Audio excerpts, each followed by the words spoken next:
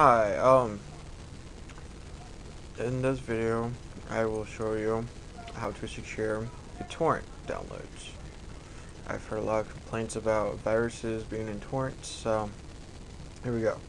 Um, the program I'm going to be using is BitComet. I'm not sure if this features for any other thing, so, um, yeah.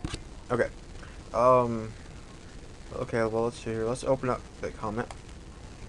Alright, um, this version is 1.16. I, I think you can use it with the, um, some older versions, but not very many of them.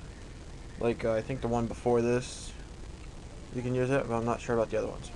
Um, well, for BitComet 1.16, go to Tools, Options, then here you see connection, proxy, directory, all this stuff. Go straight to virus scan.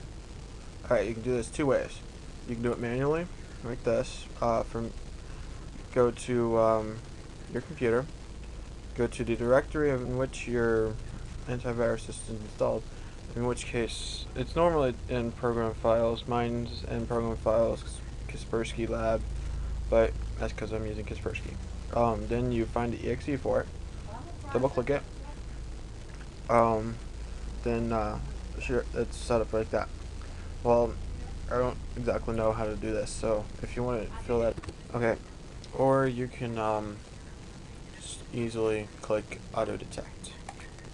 It'll pop up with your antivirus. Um, press OK. It's automatically filled in. That's automatic automatically filled in. I think that's there by default. And just apply. Uh, you might want to click this if it's not already. Then press apply and OK. And as soon as you download something, it'll scan it before you um, can do anything. Before you do anything else, it'll just sit there and scan it. Um, and it'll, you know, protect your files. So yeah, that's how to protect torrent downloading with BitComet.